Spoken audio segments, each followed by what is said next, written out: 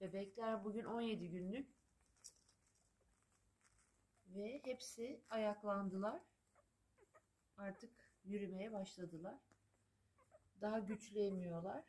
Fakat sanki bademin biraz sütü azaldı.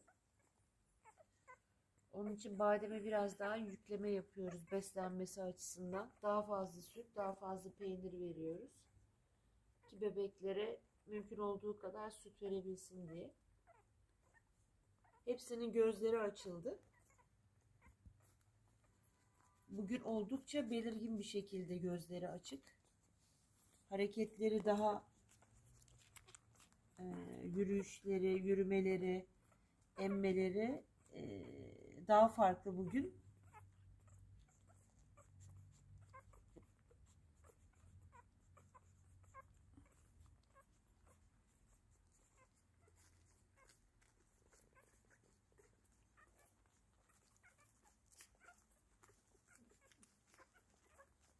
Bademi yatırmakta biraz zorlanıyoruz.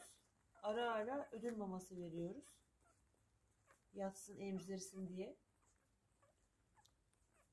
Biraz yavruları bırakma başladı. Çok emzirmek istemiyor. Sanıyorum yoruldu.